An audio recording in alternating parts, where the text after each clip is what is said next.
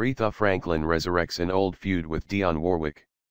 More than five years ago, Dionne Warwick made a comment at Whitney Houston's funeral, and Aretha Franklin is still not pleased, the Associated Press reported Tuesday. It seems that the legendary singer takes this feud too seriously to rely on anything besides archaic technology to rebut it. Franklin sent a lengthy fax to the AP. On Monday before calling Tuesday to discuss what she said was a libelous statement that Warwick made in 2012. According to Franklin, Warwick said the following at Houston's funeral. Ree's not here, but she is here. She loves Whitney as if she were born to her. She is her godmother. Per the A.P. Franklin said she met Whitney as a child but was far too busy to be anyone's godmother. She said that Warwick blatantly lied on her and knew full well what she was doing.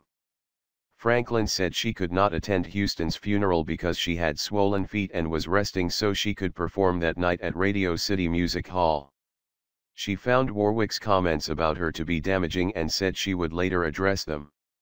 The Queen of Soul appears to be doing so now perhaps sparked by a recent interaction with Warwick. Franklin told the A.P. that she saw Warwick last week at a Tribeca Film Festival event honoring Clive Davis, when Warwick approached her. She said, give me a hug. I said, oh, hell no. You couldn't be serious, Franklin said. We've never been friends, and I don't think that Dionne has ever liked me.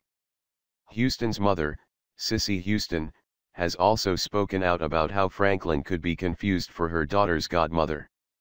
She wrote about it in her book Remembering Whitney, my Story of Love, Loss and the Night the Music Stopped, per ABC, using her nickname for Houston, Nippy. Nippy was so impressed with Aretha that she started telling all her friends she was her godmother, and the story stuck because Ree never denied it. Eventually, reporters picked it up and everybody assumed it was true. And Nippy never did stop telling people that. A rep for Warwick told Vanity Fair, Dionne cannot even dignify a response to Miss Franklin's perplexing and ridiculous statement. Vanity Fair has not yet received comment from a rep for Franklin.